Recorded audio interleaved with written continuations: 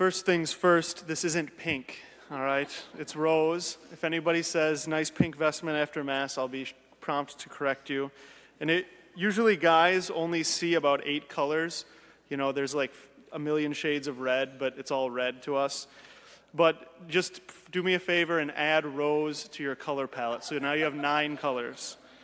All right. So, why do we wear rose on the third Sunday of Advent? We hear in the first reading from the book of the prophet Isaiah him speaking about joy. Those who suffer and struggle will receive their Savior, is the message. The desert and parched land will exult. He will strengthen the hands of the feeble, make firm the knees that are weak, and say to those who whose hearts are frightened, Be strong, fear not. Those whom the Lord has ransomed will return and enter Zion singing, crowned with everlasting joy. Contrary to popular belief, Advent is a penitential season, but it's not, the, not in the same way as Lent is penitential. Advent is the season of restraint and waiting. Advent, in Advent, we learn to hope for the Savior who has promised to come. So, why do we wear rose? Because the promise of the Savior's coming, the one who we are awaiting, is close. It's almost fulfilled. And so the penitential waiting is almost over. And the, the, it's like the light of the dawn begins to break forth, which lightens everything, including the vestments. So we're so close that we're nearly present with the Lord. He's nearly here. Spiritually, we are present with Him. We're joyful now because the one whom we long for is almost here.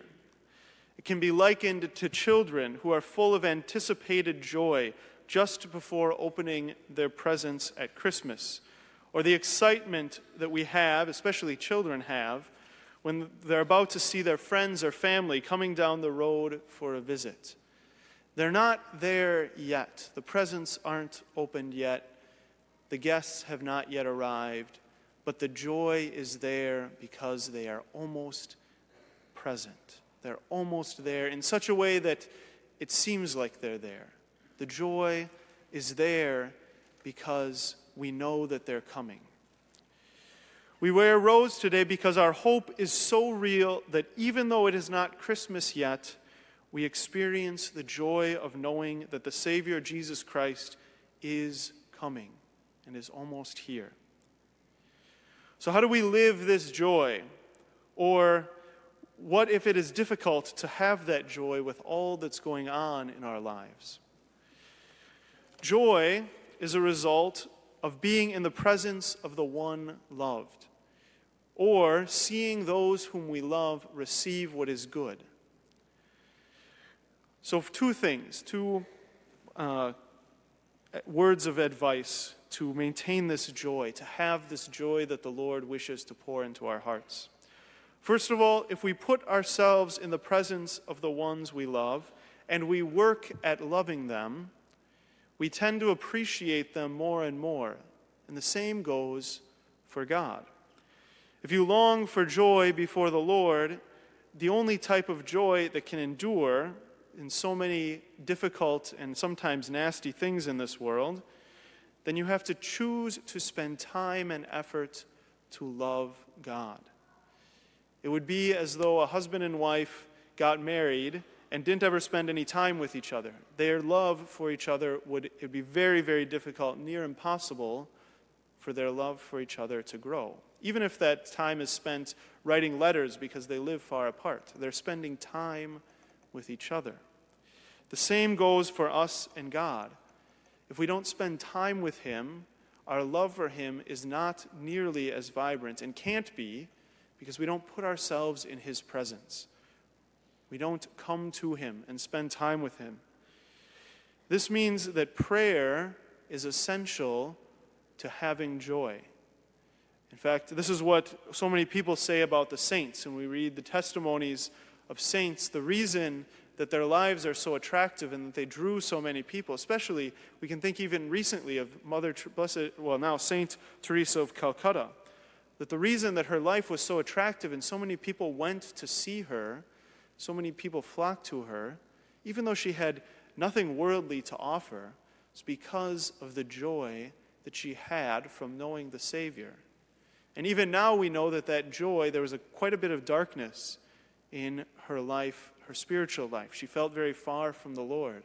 But because she went to Him every day in prayer, she was able to experience that joy. And it was an un, sort of an unconscious. She didn't choose, to, I'm just going to be joyful, and that's, it's, you know, I'm not going to, you know, I'm just going to kind of will it.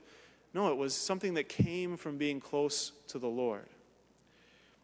The second thing to remember is that sorrow is the flip side of joy.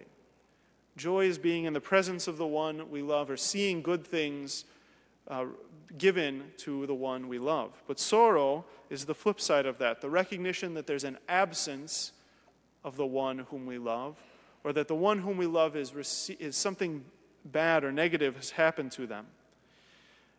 So we have to remember a couple things. First of all, that sorrow means that there's someone there whom we love.